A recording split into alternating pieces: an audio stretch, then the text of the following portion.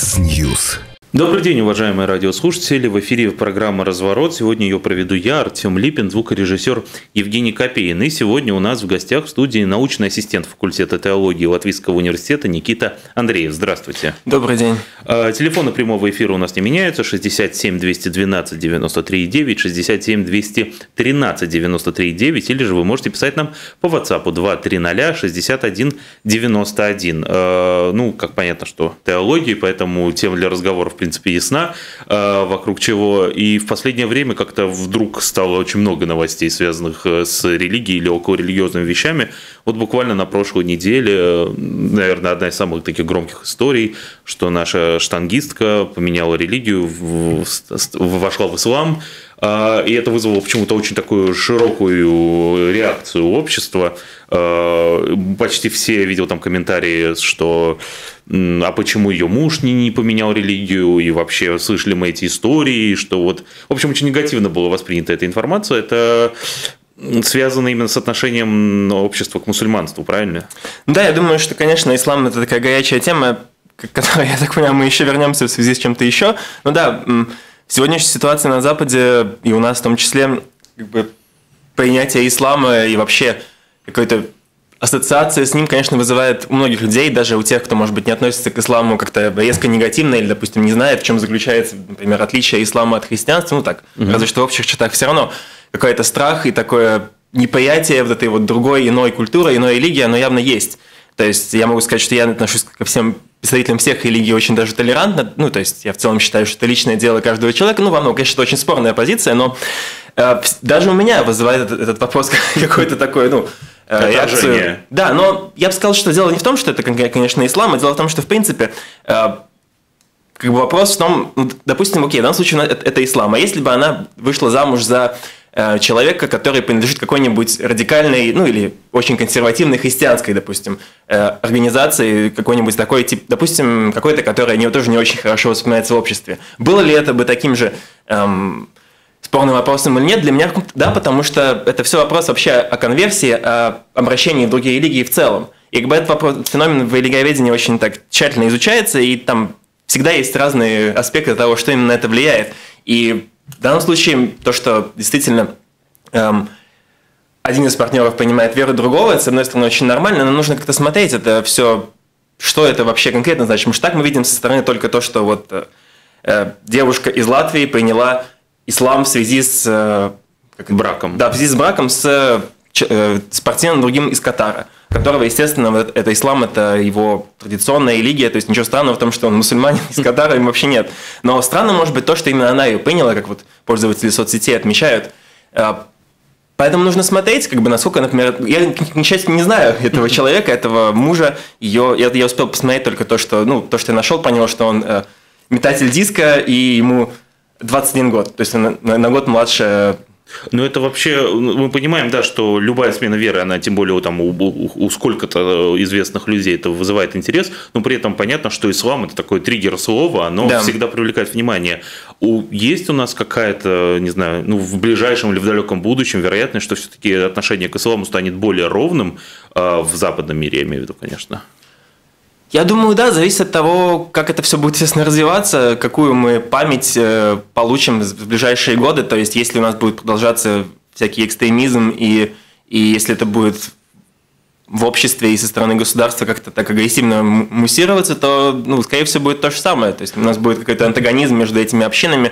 Я не знаю, некоторые люди боятся, что вот, допустим, сейчас в Латвии э, больше становится представителей ислама, и вот, допустим, в следующих поколениях их дети могут радикализироваться в связи с каким-то неприятием со стороны общества. Ну, зависит от того, государство должно в этом участвовать, должно как-то создавать э, пространство и память, для, которые, в которые могут включиться все. То есть... а, а что государство может делать, вот, ну, конкретно Латвия? Потому что понятно, что там в Америке еще свежи в памяти э, теракты 11 э, сентября, э, у них актуальна эта война в Ираке. Ну да, в Латвии, скажем, к счастью, у нас никаких историй с этим связанных нет, мы как-то больше по ассоциативному ряду выступаем. Вот что может делать государство, чтобы уменьшить такие настроения в обществе?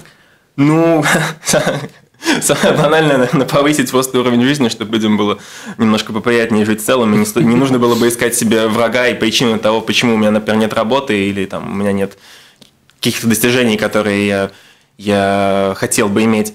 В целом, не, ну нужно как-то, понимаете, у нас есть эта вот э, часть, как минимум, политиков, которая пропагандирует эту вот вечную латвийскую христианскую традицию, которая всегда была, и я думаю, что даже, даже не говоря об исламе, для многих людей в Латвии это под вопросом. Вот есть люди, которые себя не идентифицируют с христианством и считают, что то, что вот наша страна, то, чего наша страна добилась, то, что не происходит, это не результат христианства, а результат, допустим, европейской демократии какой-то там или, или чего-то там научного прогресса. Ну, допустим, да, научного прогресса. Я не знаю, ну, то есть, вопрос, как бы, может ли государство себя так позиционировать, чтобы люди могли спокойно, не, не задумываясь, не проверяя свой мозг, перед этим э, чувствовать себя его частью? Ну, ведь Латвия позиционирует себя как светское государство, в отличие, там, от, скажем, от наших восточных соседей. Ну, восточные соседи тоже, по, по, по сути, светское ну, государство по Конституции, верно? Да.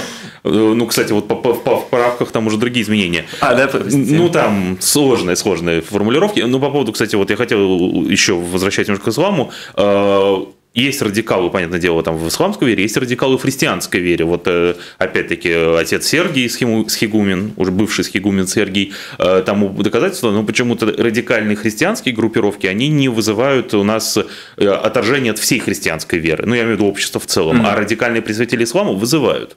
Это именно потому, что это просто другая вера, далекая от нас. Ну да, возможно, нас все-таки на христианство мы, я думаю, в чем проблема зачастую у нас, в том, что мы видим э, все, что есть какие-то разные группировки, одни говорят одно, другие говорят другое, есть вот э, условно обычные какие-то привычные христиане, есть какие-то не очень обычные, и те, которые прячутся и ругаются, есть те, которые говорят, что все хорошо и все либерально, а со исламом у нас, возможно, нет такого, э, такой возможности так на него пристально смотреть. Он действительно где-то где в, другом, в другом месте, и мы видим только его самых... Э, общую такую картину. Даже не то, что общую, да, общую мы не видим, видим больше каких-то радикальных его представителей и создаем на основании их э, какое-то свое мнение. Единственное странно, например, что как интересно, что буддизм, допустим, долетел до нас приятной стороной больше, потому что мы, ну, если почитать, можно найти примеров массу и радикализма среди ну, буддистов. В, в Мьянме, да, то есть, например, в Мьянме они как раз таки мусульман очень сильно угнетают, ну, э, правящее большинство, то есть, и как бы на ислам у нас доходит таким, таким вот образом. То есть вообще все, потому что есть такой да, стереотип, что буддизм это мирная религия, да. все религии, они подвержены какому-то, каким-то радикальным течениям маленьким внутри себя. Ну да, вопрос там больше или меньше, да, но в целом все. Э, опять-таки заговорили о Сергии. Ну, поэтому там не будем говорить про внутреннюю ситуацию России, это их э, да. как бы, внутреннее дело. Но меня интересует вопрос, что в последнее время э, заметно становится, как религия пытается в некоторых странах, и в том числе, кстати, в Латвии, немножко приблизиться к, к политике. Вроде как светское государство разделение mm-hmm. есть, но вот отец Сергий, который выступает за то, чтобы Путин снял с себя все, все должности и передал их Сергию. У нас, например, из, из латвийских историй, когда были выборы в в Сейм в 2018 году. Mm. Представитель Баптистской церкви Петерис Прогис э, тоже там баллотировался и в итоге снялся, потому что его как бы э, общественное мнение не поддержало его выбор.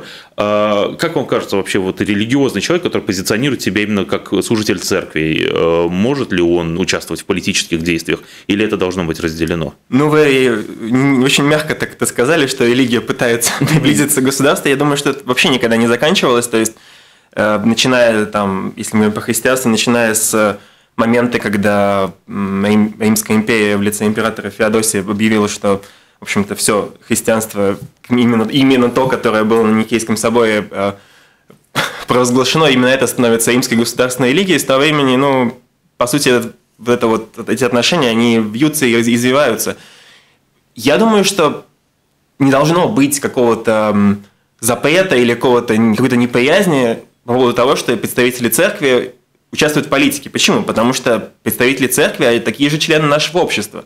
У них не может быть какой-то такой дискриминации, что почему там, католический священник не может быть, например, депутатом. Эм, да, депутатом. И как, причем ну, из- из-за времени латвийской независимости, ну, 20-х э, годов, или, по-моему, 20-х, да, был, были тоже масса примеров, допустим, латгальских э, активистов, которые в Сейме участвовали, например, Трасунс, которые, по сути, были деятелями католической церкви. То есть, ну, в целом это нормально, просто то, что, наверное, вызывает неприязнь, это какую-то... Это вот есть такое представление, что церковь должна быть каким-то образом чиста от этой вот какой-то грязи, мирского, какой-то коррупции, а политика у нас ассоциируется именно с этим зачастую. Поэтому, плюс как бы, ну, с Прогисон, одной очень конкретной партии, представителем был конкретно Саскани, я думаю, что, ну, а э, думаете, это было частью... Я думаю, конечно. Ну, все-таки Саскани, опять же, многих людей в Латвии вызывает э, опять же, ту же самую ассоциацию с коррупцией и какими-то темными промутами. Вот, поэтому я думаю, что отчасти его из-за этого как-то критиковали так сильно. Потому что, ну, Саска действительно, я, может быть, видел... Просто да, я, я видел пост тогда на Фейсбуке, я помню, я, у меня в тот момент было много, да и сейчас есть много знакомых именно из латышской христианской среды, то есть, и я смотрел как бы их комментарии по поводу этого поста, и да, там как-то очень люди негативно относились именно к этому вопросу, что вот именно Саскане. А, то есть, э, э, ну, в принципе, как вам кажется, у нас в обществе Просто почему, мне кажется, люди многие не, не хотят видеть еще представителей религии в, в, в управлении государством, потому что если мы там вспоминаем средневековье, например, mm. то когда, наверное, наиболее сильно чувствовалось влияние церкви mm. на государство, то это у нас сразу вспоминаются темные века, mm. это сжигание ведьм и э, запрет какого-то э, технического прогресса mm. и научного прогресса. И понятное дело, что это было многие сотни лет назад, уже все поменялось, но как-то ассоциация свежа в памяти, и там и фильмы, и сериалы, которые до сих пор выходят, они как-то поддерживают это. Ну да, плюс еще церковь, если мы так очень, опять же, просто смотрим, я думаю, ассоциируется многих людей, опять же, с очень консервативными ценностями, то есть думаем католицизм, думаем, естественно, целебат, там, секс только после брака. Только и, гетеросексуальные отношения. И да, да, да, естественно, еще и вот это все. Ну, то есть, и как минимум с этой стороны может это казаться неправильным. С другой стороны, опять же, это, все еще очень сильно зависит от, от традиции конкретной страны. У нас все-таки есть это наследие постсоветского, в общем-то, пространства, на котором религию, на религию смотрят многие люди довольно странно. Допустим, если мы говорим про Англию, э, в которой, ну, во-первых, в которой, в принципе, существует государственная церковь до сих пор, ну, там еще и монархия существует, то есть это вообще уникальная такая, такая страна. Ну, но, да, допустим, церковь Англии – это государственная церковь. Э, часть, э, по-моему, это были по-моему, да, самые, то, по-моему, то ли все, то ли самые старшие епископы сидят в палате лордов. То есть церковь отвечает до сих пор за огромный процент э, образования в стране. И это как бы часть государственной системы, и там вот этот вопрос, ну, он как-то звучал, звучал бы немного смешно, почему не может представитель церкви участвовать в политике. Церковь такая часть политики и власти, как и все остальное. Ну, например, то есть понятно, что, опять же, это церковь Англии, это одна определенная церковь является этой частью, и там могут быть трения с какими-то, например, баптистами или ну, представителями других конфессий, которые в Англии есть. Но в целом зависит реально от традиции страны. То есть э, у нас, может быть, это не... И плюс еще у нас, опять же, был этот опыт там, э, с Латвией, с Цельши, Пермопарты. Там тоже был какой-то такой ощущение какого-то обмана немножко избирателей, привлечение вот этой вот э, религиозной какой-то аргументации для того, чтобы поддержать какую-то политическую партию. То есть эм, Тут как бы, да, тут можно, нужно как бы, тут должны люди делать выбор. Считают ли они, что эта партия действительно, и эти представители действительно хотят защищать интересы именно христиан, и они просто хотят за счет христианства пропиариться, что заявить, что вот все голосуйте за партию священников, потому что там священники, потому что они за христианство. Опять же, какое христианство? Это то христианство, которое было там, я так думаю, это был вот этот вот очередной традиционных ценностей консервативности такой микс, где вот все, кто за, за, за нас, за семью там и так далее, все голосуйте за нас. Не все христиане это разделяют, такую позицию. То есть, поэтому в определенном смысле заявлять, что это партия священников, партия христиан, это была манипуляция. Потому что нет, нет, да и нет вообще такого какого-то отдельного христианства вот само по себе. Ну да. То есть, есть его разные направления, его разные стороны, представители и прочее, и прочее. Поэтому, ну, ничего плохого в этом нет, но нужно нельзя просто некритично э, считать, что если человек использует религиозную риторику в своей какой-нибудь предвыборной, кампании, то он вот точно разделяет убеждения всех христиан или, или представляет их. Ну вот вы когда говорите, что религии, в частности христианство, оно ассоциируется с консервативными ценностями, mm-hmm. это да, но в последнее время какое-то ну, существует течение, какое-то желание, наверное, не знаю, измениться, модернизироваться. Уже и Папа Римский заявил, mm-hmm. что представители ЛГБТ могут быть христианами, ничего страшного в этом нет. А в некоторых церквях, даже и в Латвии в том числе, э, не относятся плохо ни, ни, ни к однополым бракам, ничего такого. То есть это какой-то постепенный процесс идет э, как вам кажется, это искреннее какое-то, это желание оставаться вместе с людьми или это действительно такая эволюция абсолютно логичная? Угу. Да, ну из личного знакомства с разными различными представителями христианского мира я могу сказать, что ну, как всегда, для, для, есть люди, для которых это все личный какой-то путь, приход, ну, например, от э, реально очень консервативных убеждений и их, их защиты к, к, к чему-то прямо противоположному для кого-то это ну, следование тенденции модно. Если мы говорим про, про Франциска, то с Франциском нужно очень аккуратно, потому что он как бы в каком-то смысле ничего нового и не сказал. Он просто сказал это громче и, и, и отчетливее. Не, не, не было никакого запрета на, на, на, на присутствие или принадлежность э, членов общины ЛГБТ к католической церкви, а запрет на то, чтобы принимать причастие, до сих пор остался, например. И он, ну, он да, остается. Я понимаю. Жить в грехе по-прежнему нельзя. Ну, так это называется. Просто, да, как бы это официально просто нигде не оговаривалось. Мне кажется, это очень важно, что это было сказано громко, и Папа Римский, э, то есть, э, условно говоря, если какой-то там на местах пойдут перегибы, можно будет там представитель католической церкви сказать, ну, подождите, вот Папа Римский, угу. второй после Бога, как бы э, сказал, что можно. Ну, я надеюсь, действительно, это так, так будет работать, поможет людям. 67212 93 9, 67213 93 9 это телефоны прямого эфира. У нас в гостях научный ассистент факультета теологии Латвийского университета Никита Андреев. Также можете писать нам на по WhatsApp 2 300 61 91.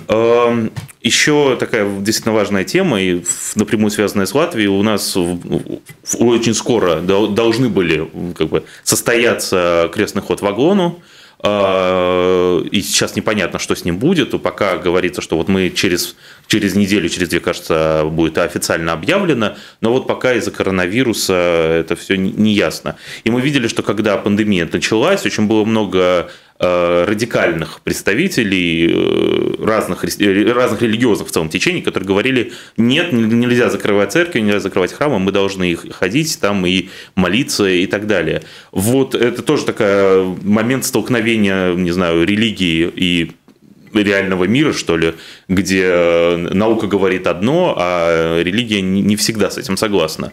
Вот эти отношения, они как-то поменялись в эпоху ковида?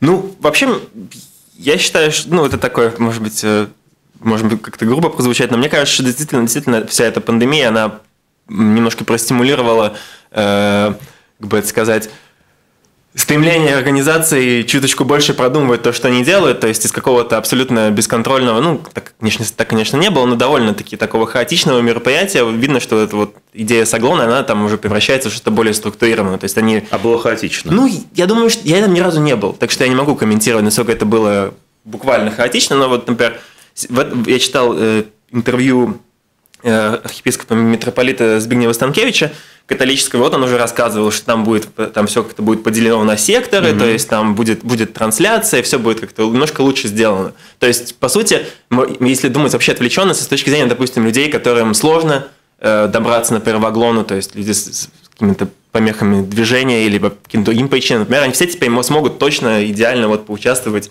э, вот в этом вот мероприятии отдаленно. Как и той же, в той же интервью он как раз-таки ссылался на то, что вот как Папа Франциск э, мессу отслужил на пустой площади, вот, и, и тоже все, все, в общем-то, получилось нормально. Э, да, в самом начале было много этого интересного, что очень много именно в православном мире, и вот в Восточной Европе, в Румынии, в Болгарии было очень много вот этого э, противостояния, то есть, что церкви должны остаться открытыми и так далее. Но в целом, это, конечно, такой пример, пример э, того, что действительно может быть мнения церкви и науки могут расходиться, но вообще, по большому счету, в мире как-то церковь все же нормально с этим справилась. Просто я тоже как бы сам не религиозный человек, mm-hmm. я давно не посещал церкви, но насколько там мне известно, и последняя вещь, которую я помню там из своего детства, э, там, условно говоря, когда после службы в храме ты подходишь к настоятелю, там целуешь икону или целуешь mm-hmm. перстень, и, ну, это, мягко говоря, не санитизируется, и там mm-hmm. сотни человек, и все, ну, мало ли что можно получить, это как-то мягко говоря, выглядит не гигиенично. Я не знаю, неужто религиозные традиции нельзя объединить с, ну, с элементарными правилами гигиены? Не, я тоже могу рассказать историю. Я в какой-то момент принадлежал к католической церкви, и там у нас было в недели два ритуала, которые были связаны с, с, конкретно с целованием в одном случае мощей святого Антония, а в другом случае мощей, точнее не мощей, а фрагмента креста, который угу. в таком футляре. Ну вот. И у нас было два священника, один был более молодого поколения, то есть ему было лет так 30-40, и второй был, ну, постарше. И вот молодой ходил с, с, с тряпочкой-дезинфектором, ну, то есть этой ну, я да. поняли, о чем я. А, более пожилой ходил либо без ничего, либо просто с, ну, с тряпкой, то есть из, из ткани. Вот. ну, вот такой вот конфликт поколений. Я думаю, я надеюсь, что сейчас они оба Ходит с дезинфектором. Да, да, с дезинфектором. И вот в таком плане... Ну, опять же, церковь – это реально раз, разное такое. В ней может быть восприятие всего этого.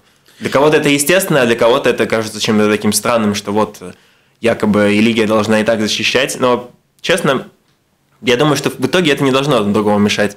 Вполне себе возможно какое-то здравое такое слияние всех этих э, мнений. У нас телефонный звонок, наденьте, пожалуйста, наушники, да. чтобы его услышать. А, да, здравствуйте, добрый день. Добрый день. Я опять к мусульманству. Вы знаете, в России была очень серьезная история, когда мусульманин с Кавказа женился на русской. Она вообще неверующая была. И когда он умер, приехали его мусульманские родственники, забрали детей. Они сказали, что согласно мусульманству дети должны воспитываться в семье мусульман. Если бы она приняла ислам, она бы могла ей могли бы детей оставить. А так нет, они забрали, уехали, и никто ничего не мог сделать. Спасибо. Спасибо. Э, ну, это скорее комментарий, а не вопрос. Но это такие вот, э, не знаю, когда религия сталкивается с юриспруденцией, что ли. Ну да, в данном случае не могу комментировать, потому что я не знаю, какие конкретно законы регулируют это в России. Вот Должны, должны регулировать законы, а не, а не, а не какие-то традиционные понятия все же. Э, я еще хотелось поговорить на такую тему, эм, на, о связи религии не знаю, и, культуры, что ли. Э, громкая новость была последнего месяца про мечеть Святой Софии в Турции, которая как бы была христианским э, храмом, и вот ее переделали в мечеть, и даже там уже прошла, не знаю, служба, это называется, как правильная терминология в исламе, но прошел, прошел ритуал уже, и христианская церковь, там, скажем, православная церковь, она очень активно отреагировала, сказала, что это чуть ли не пощечина.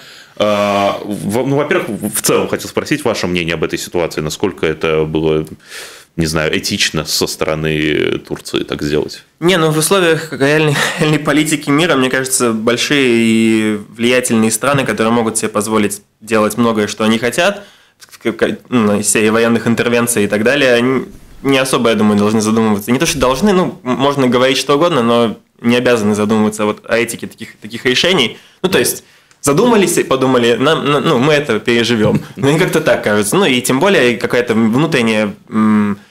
Важнее всего, да, внутреннее, как сказать, э, внутреннее влияние, которое это действие должно, по идее, дать, потому что эм, все это вопрос такой современно популярной гуманитарной темы, как культурная память. Угу. То есть и, конечно же, это всегда касается, как минимум, ну, чаще всего вопрос идет о текстах, но, в принципе, памятники, и особенно вот такие памятники, как Хагия София, невероятно огромный собор э, древний VI века, ну, который до сих пор существует, это просто, ну, такой супер памятник, скажем так, это то, что видят все, то, что видит весь мир, не только даже жители э, Константинополя, я хотел сказать, и сказал, да, вот.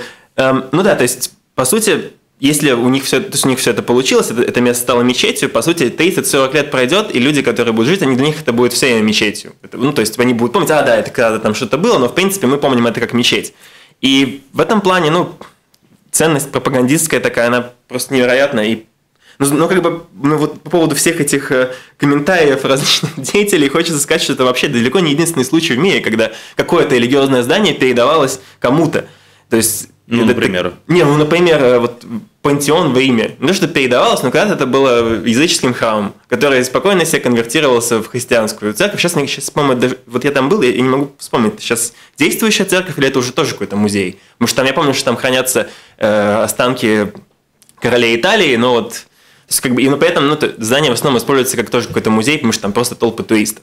Ну вот я тоже, вот, когда говорил про культуру, я хотел про это спросить, потому что мы да. понимаем, что мечеть Святой Софии – это памятник культуры, памятник истории. Да. Это действительно даже для нерелигиозных людей это все еще очень важное здание. Ну, не знаю, так же, как, например, Нотр-Дам mm. в Париже, который тоже, ну, как бы технически церковь, конечно, но да. его хотят посетить все вне зависимости, точнее, хотели до пожара, а, вне зависимости от конфессии. А, и тоже относится там ну, к большому количеству зданий. И, например, была громкая история в Санкт-Петербурге, Санкт-Петербурге, когда представители церкви сказали, что, если не ошибаюсь, Высокиевский собор, что э, нет, это все теперь церковь, мы туда пускать как в музей не будем, mm-hmm. мы будем там служить службы. Вот такие моменты, они тоже спорные, их как бы сложно решить, потому что, с одной стороны, ну да, это церковь, mm-hmm. с другой стороны, ну, нельзя отбирать и ее у такого количества людей, которые не относят себя к какому, какому, какой-то либо конфессии. Не, ну да, это да, для нерелигиозных людей это вообще немножко другой какой-то дискурс, да, по сути, получается, потому что теряется эта возможность посетить такое великое место, но, в принципе, вроде как в Турции они еще, пока что еще обещают, что он тоже будет доступен, э, Хагия София доступна будет для посещения ну, людьми, но да, как бы я возвращаюсь к этой теме, и кроме этого, эм, ну, есть еще пара мест таких известных, которые, допустим, мечеть в Кордове, которая сейчас опять, опять стала церковью. Там вообще место такое, как, в котором якобы вначале была какая-то церковь, потом ее во время э, мусульман, мусульманского правления ее снесли и построили мечеть, потом ее вернули опять, ну, когда реконкиста произошла, то есть э, вернули превратили снова христианскую церковь. Ну а то, что я просто, опять же, возвращаясь к комментариям различных э, лидеров, вот экуменический патриарх Варфоломей там тоже, естественно, высказывался на эту тему, что это вот ужасно там и так далее. Но, в принципе, экуменический... Это так, не надо воспринимать это как какую-то мою здравую оценку, просто как ассоциация. Экуменический патриарх Варфоломей замешан был пару лет назад в самом в другом громком скандале, связанном с церквями и имуществом, а именно в украинской всей этой истории с автокефалией и тем, что и плюс еще эта история связана, что очень интересно, опять же, с одним каким-то старым документом, потому что этим вопросом по, по, про Софию там как бы утверждается, что э, есть как бы документы, но это, походу, неправда, насколько я понял, но документы, которые утверждают, что султан Мехмед II заплатил. Заплатил mm-hmm. патриарху там, тогдашнему за это, за это, вот, это вот здание, и э, на таком, по такому праву это все получил, а не просто то, что нас завоевал и таким образом получил. Но не суть, как бы, и, и вот получается, что э, турецкий суд на момент признал вот эту вот передачу Софии превращение в музей неверный на основании вот этого вот документа какого-то. Но не суть.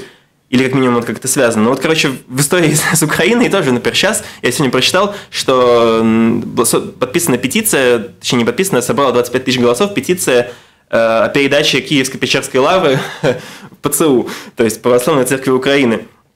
И опять же в этой истории, когда это все менялось, э, Киевский патриархат, получается, признал неверным решение, господи, какого-то там 1600 какого-то года о том, что э, Киевский патриархат приходит, переходит... Ну, под... это формальность. Да. По большому счету, они просто, так как Украина и Россия сейчас во враждебных отношениях, ну, да. они просто забрали себе то, что на их территории находится. Ну да, и то есть вот в, и в этом случае то, что это тоже касается там тысяч людей, что это там кому-то уже когда-то принадлежало, и все, все это, все это можно, понимаете, все это можно как-то, всю эту историю можно переписывать и реконструировать и так далее. Нужно будет, сделаем. И поэтому, ну, то есть у этого нет особого значения, ну, по большому счету. Как сказать, ну, это происходит часто и, и все время. То есть в данном случае это вызывает Э, такую реакцию христианского мира, очень такую... Ну, не, опять-таки, ислам триггерное да, слово. Да, естественно, ислам, но с другой стороны, если подумать очень, очень так чисто теологически, ну, окей, я, допустим, как теолог, я протестант, поэтому я, например, считаю, что, в принципе, какое-то отдельное здание, оно вообще не, ну, с точки зрения веры, оно вообще не имеет никакого смысла. Ну, это именно протестантское. Да, ну, не, ну, конечно, да, но даже, даже если мы говорим, смотрим как-то так, так, более православно, допустим, там будет, должно быть любая церковь это место, где реально хранится реальное присутствие Господа, потому что оно вот, вот там вот в этом э, освященном э, Просто если попробовать там, скажем, мусульманину сказать, что Мекка это просто место. Да, но это все-таки не Мекка. Это и в христианстве нет такого аналога Мекки. То есть ну, да. в каком-то смысле. То есть есть Иерусалим, конечно, э, по сути. Ну, Иерусалим у всех есть, мне кажется. Ну да, Иерусалим это ну, наше все, да. Ну, как бы в каком-то смысле, не, есть масса мест, там, Сантьяго де Компостела, вот этот вот чудесный маршрут. Ну, в каком-то смысле конкретное здание, оно мне несет, конечно, историю, оно несет вот эту информацию об, об былых веках э, славы, славных, славных веках э, правления христианства во всем обозримом мире, но в определенном смысле важнее даже, даже в православии важнее именно конкретная человеческая община, которая может собираться в разных местах. Это может быть хорошие дни, когда мы собираемся в красивом собой, это могут быть плохие дни, когда мы собираемся в подвале, но в целом э, все равно собрание идет вокруг этого тела Христова скорее, чем, чем вокруг э, какого-то здания. То есть, и поэтому все же вот такие вопросы, как вот э, София, или я помню, когда-то приглашали говорить про Э, собственно, сгоревший Нотр-Дам, и я то же самое говорил, ну да, сгорел Нотр-Дам, ну да, жалко, но в целом-то вера-то не держится на Нотр-Даме, вера не держится на Святой Софии, э, вера держится на на вере. Это опять же протестантизм. А, да. Как-то так. У нас э, в WhatsApp пишут активно. Вот один вопрос, не знаю, видимо, видимо, тоже чисто с теологической точки зрения. Является ли Папа Римский наместником Бога на земле? И если да, то для всех христиан или только для католиков? Или нет такой вообще терминологии наместник Бога? Господи, наместник Бога на земле, вот простите, нужно бы потом будет проверить, я советую всем, всем сейчас погуглить, это, это какое-то это какое-то ирония, оскорбление или, или что это? Я ну, не, или это действительно, не, ну папа, папа римский, как бы у него есть, э, опять же, не, не, не вечно у него это было, но вот, э, по-моему, конца 19 века есть, есть догма о папской infallibility ну, не, о том, что он не может да, быть... Э, непогрешимости, что-то вроде, да, да. да. То есть, но опять же, эта непогрешимость не заключается в его всей его жизни, всех его, все, что он говорит, это его определенное, если он делает свои высказывания экс-катедра, то есть в качестве, в качестве Папы Римского, да, это то, что является для всех э, католиков в мире, ну, любых, любого класса, то есть священников, верующих, монахов, является истиной. Правдой. Да, правда, истиной, так как есть. Э, и, конечно же, католическая церковь э, сохраняет свое, скажем так, Э, влияние? Ну, не влияние, а заявление о том, что она является таким настоящей церковью, той самой, которая вот с апостолов идет, и поэтому, ну, с их, с их точки зрения это для всех должно быть актуально. С точки зрения параллельных структур, конечно, нет. То есть, то есть тех, тех других параллельных структур, которые в основном тоже свою родословную эм, про, ну, видят, как сказать, от Христа до, до вот сейчас. То есть лютеране в большей части на эту вещь, как так называемую апостольскую сукцессию, эм, как бы считают важные англикане, и православные. То есть в этом как бы вся проблема, что все, все эти церкви в какой-то момент были правильными. Да, ну то есть они правильные все до сих пор, а в какой-то момент они были все одной. Ну, что-то вроде, как минимум. Да. Так а... что да, Папа Римский, ну, не для всех я наместник на земле. Тут еще вопрос, э, более уже приближенный к нашей реальности. Какой уровень жизни у священников? Это, на самом деле, интересно, потому что мы знаем все коррупционные скандалы mm-hmm. там, российских, украинских э, священников. В Латвии такого вроде как поменьше. То есть мы не видим, не знаю, зафотошопленных часов и так далее. Но вот КНАП в прошлом году там что-то искал mm-hmm. в церквях. То есть история есть. Вот для Латвии насколько вообще хорошо живут живут священники? Ну, зависит от конфессии, зависит от э, человека. Естественно, допустим, про кардинала Пуяца католического, ну, многие с э, восхищением рассказывают о том, как бедно он живет. То есть, что он вообще ему как бы чуть ли не все равно, что там с этим миром происходит. Эм, когда я вижу представителей более, скажем так, современных церквей, зачастую, ну, или каких-то там харизматических или пятидесятников, я зачастую они как бы они с, с, и это как бы не только в Латвии, это во всем мире, они как бы стараются демонстрировать этот образ успешного человека. То есть, ну, как бы проецируя, то есть, вот это вот на всех остальных. То есть, условно, человек видит церковь, видит ее, ее пастора, этот человек, пастор выглядит как такой, ну, солидный, ну, что-то около бизнесмен, что-то около какой-то менеджер, то есть, и это как бы делается с целью того, чтобы, ну, привлекать определенную как сказать, определенный, определенный класс людей, которые, вот, которым вот это кажется ну, вообще, примером, это, же, да. это же какой-то ну, конфликт получается в каком-то смысле, потому что именно в христианской церкви, mm. по крайней мере, потому что, с одной стороны, э, действительно, как бы хочется, ну, это понятное желание жить, жить в комфорте, ну, даже не, не в богатстве, не в роскоши, yeah. но хотя бы, чтобы там машина была э, не, не старая, не, ну, а нормальная, чтобы дом был достаточно просторный, особенно если есть семья. А, но при этом, если там почитать Библию, то или там какие-то, крайней мере, стереотипы о священниках, особенно о православных, католических, что вот нет, это все мирское, лишние деньги отдавать в церковь, а жить вот сколько надо, вот и, и не больше. И какой-то возникает диссонанс, ну, у меня лично, по крайней мере, возникает диссонанс, когда ты видишь э, священника, который при этом, не знаю, разъезжает э, на очень дорогой машине, или там, ну, опять-таки, в тех, в тех же самых часах. Это как бы это вопрос в это, это моя проблема, что я так воспринимаю, или это все-таки есть какой-то в этом теологический действительно диспут?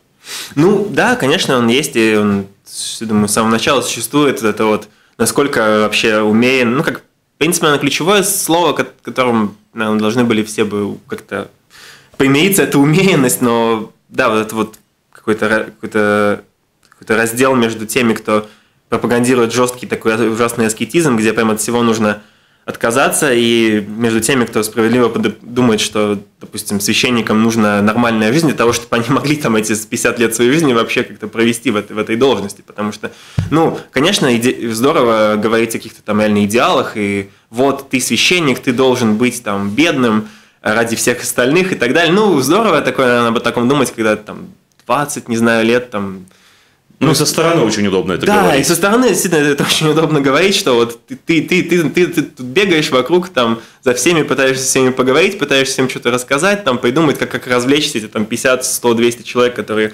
приходят в церковь, и ты еще поэтому должен быть бедным, аскетом, и там хлеб и воду есть. Ну, действительно, есть, да, разные общины, и разные люди как бы выбирают, скажем так, разный образ для себя, но Например, опять же, не знаю, я могу про церковь Англии сказать. Церковь Англии довольно сильно заботится. Вот сейчас, там, допустим, недавно было какое-то заявление о том, что эм, нужно очень сильно заботиться именно о эмоциональной поддержке э, священнослужителей, потому что там огромное количество случаев выгорания, то есть, да и вообще, ну, зачастую, опять же, если человек, мне кажется, в молодом возрасте к этому, на это все подписывается, действительно всегда такой возраст такого идеализма, и человеку очень хочется очень много чего добиться – ты быть и самым лучшим проповедником, самым лучшим аскетом, самым, самым внимательным ко всем, самым добрым, самым там, не знаю, прилежным в молитвах и так далее. И это все доваливается как ужасный такой ком э, ответственности, которую на много, многие люди, люди просто не могут потянуть.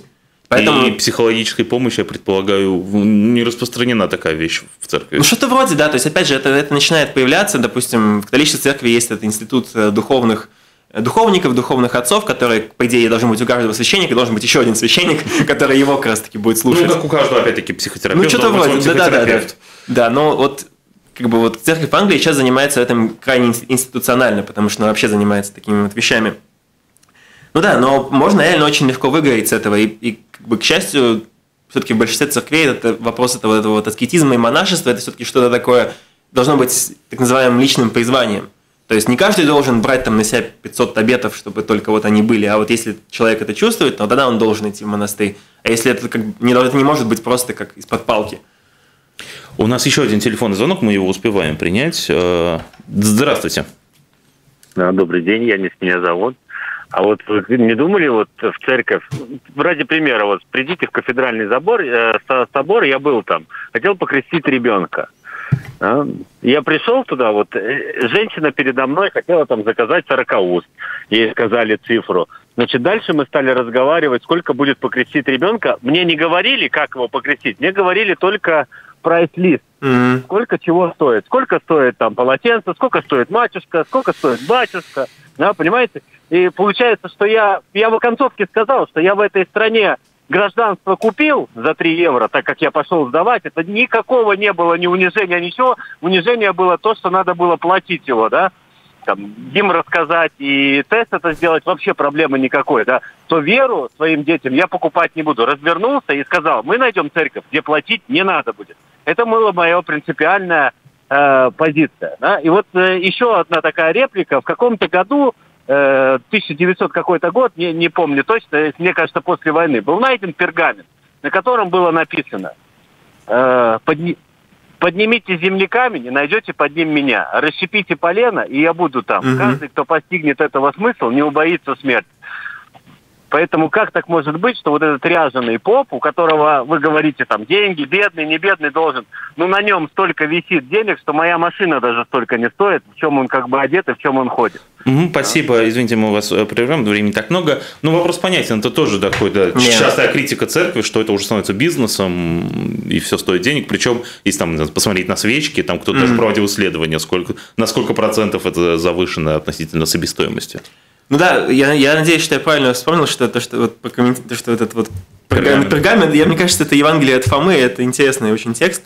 Э, по свечкам у тоже есть чудесная история про то, как э, есть такая схема со свечками, что их можно продавать, а потом люди их не жгут, оно жертвуют э, храму, и, их можно потом еще раз продавать. Есть, так, такая, есть такая схема. Вот. Нет, понятно, что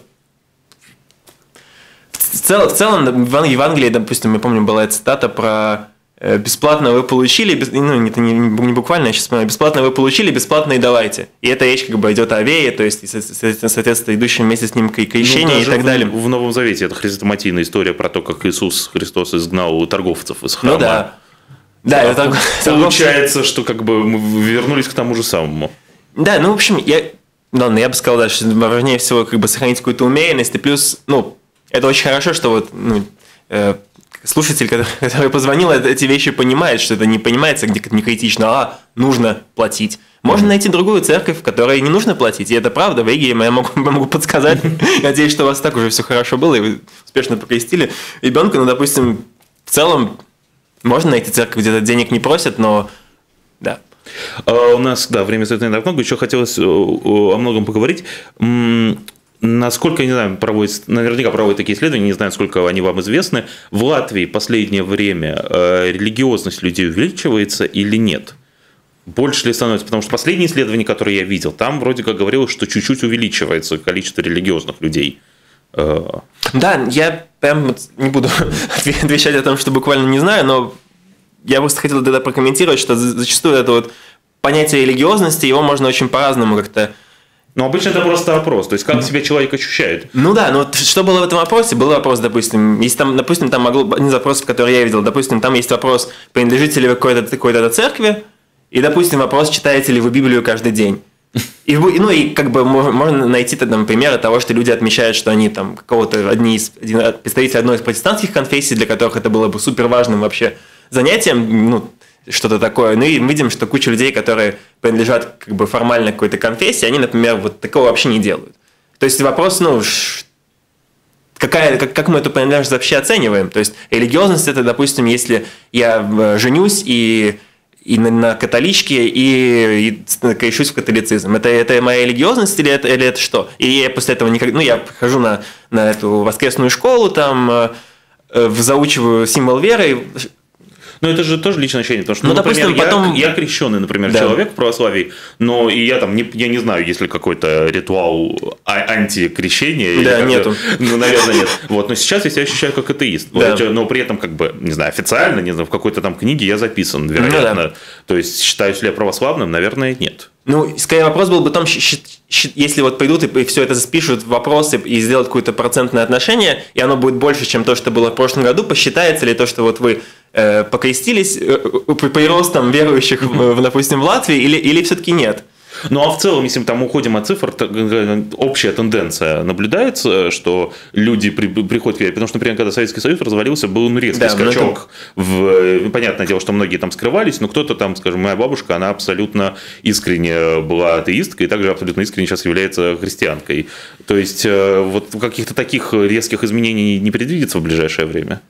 Да, опять же, не уверен, но мне кажется, сейчас все довольно, довольно как-то спокойно. То есть оно, оно, оно, не, оно, не, оно не пропадает никуда, как, как обещали лет так 20-30 назад, но оно и, не, оно и не собирается вырастать сейчас ужасно резко. То есть есть растущие общины в Латвии, не, ну, точно, активные, которые занимаются и получают новых последователей, но какого-то такого воскресения или это нового пробуждения веры в Латвии пока что не ожидается но и наоборот какого-то там атеистического всплеска. Ну да, я, может быть, я надеюсь, что я не ошибаюсь. Мне кажется, сейчас довольно все так плюс-минус а, спокойно. Уже так напоследок. Наверное, это панд... единственное, да, может, пандемия могла бы быть э, чем-то, что могла отвратить людей от от, от, от церквей или от... Или наоборот, где-то искать спасение. Ну да, но все, в данном случае реально все зависело от того, насколько успешно церкви могли с этим справиться, насколько они могли к адекватной ситуации приблизиться, потому что, ну, как мы ну, знаем, для некоторых политиков в Европе это стало таким плохим моментом, то, что они очень сильно ну, заявляли, что это все сказки там, и не так опасно, как это есть. Все-таки большая часть общества видит, что это опасно, это есть, и нам нужно с этим как-то справляться. И поэтому церкви ну, все-таки не, не проиграли в этот момент. Хотя были, ну да, некоторые или кто что говорил.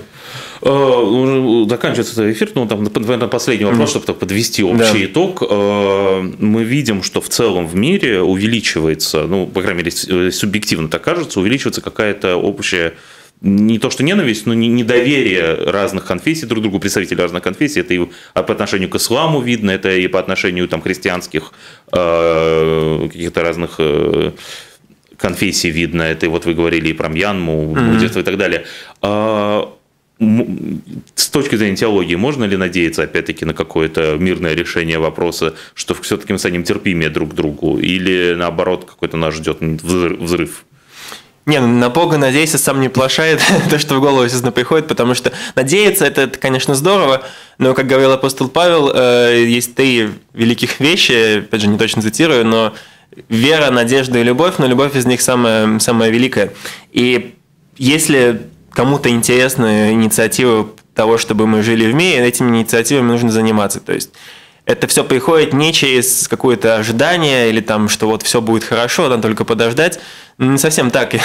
Нужны конкретные инициативы. Например, есть такая организация, опять же, в Англии The Feast, которая занимается конкретно межрелигиозным диалогом среди молодежи, то есть ну, там 20-35, видимо, или что-то такое. И они занимаются тем, что они организуют э, общие обеды общие или ужины. То есть для вот всех этих разных, разных людей они все приходят, кушают, пьют и спокойно, в спокойной обстановке обсуждают, что хорошего есть у них в их традиции. Не в смысле, что там у вас, а вот что, ну так вот, как мне рассказывал их лидер, когда у нас, был, у нас, у нас была его лекция. То есть таким путем это, к этому мы можем пойти. И как бы все-таки ну, европейское общество, оно достаточно мирское, достаточно толерантное во многом, то есть что есть возможность встретиться, и, то есть никто, ну, мы не, мусульмане и христиане на улице не обязательно друг на друга кричат или кидают друг другу какие-то камни, то есть, ну, может, люди просто не, не здороваются или все-таки здороваются, ну, как-то через там силу, ну, как-то так, но, но все-таки есть эта площадка для какого-то диалога, и он как бы у нас актуальна такая вещь, эти дискуссии, там, разговоры, подкасты, все там это варится, то есть в этом плане я доверяю, что за счет того, что мы разделяем все-таки какие-то ценности этого спокойствия и комфорта, которые, я думаю, выходят реально на первый план, что больше многим людям не, не нужна какая-то там прям истина, а хотя бы, чтобы было нормально, чтобы можно было работать, жить, ну, делать вещи, которые нравятся, как-то саморазвиваться, и в этом плане можно найти, я думаю, мир и покой. Главное, чтобы было поменьше людей, которые его, наоборот, пытаются разрушить. И вот, ну, например, ну, то есть, я считаю, что в каком-то смысле это вот все э, очень жалко, что, допустим, такие организации, как, э, Мировой э, Совет Церквей и там Папа Римский, экономические патриархи вот так вот агрессивно реагируют на эту вот Святую Софию. Ну, то есть в каком-то смысле они все-таки подливают масло в огонь, потому что, может быть, они их просто хотели покритиковать, но они же не могут не понимать, что на другом конце этого, этого телефона сидят крайне консервативные, крайне радикальные наши люди, которые для которых вот эти комментарии являются какой-то валидацией их уже взглядов. В общем, Такое, всем, простите. Всем, нет, все, все отлично. Всем, всем мир, всем любовь. Это точно. Мы просто, все просто люди. Ну, надо понимать с пониманием. Спасибо. У нас в гостях был научный ассистент факультета теологии Латвийского университета Никита Андреев. Это была программа «Разворот». Ее провел Артем Липин, звукорежиссер Евгений Копейн. Спасибо, что слушали. Спасибо.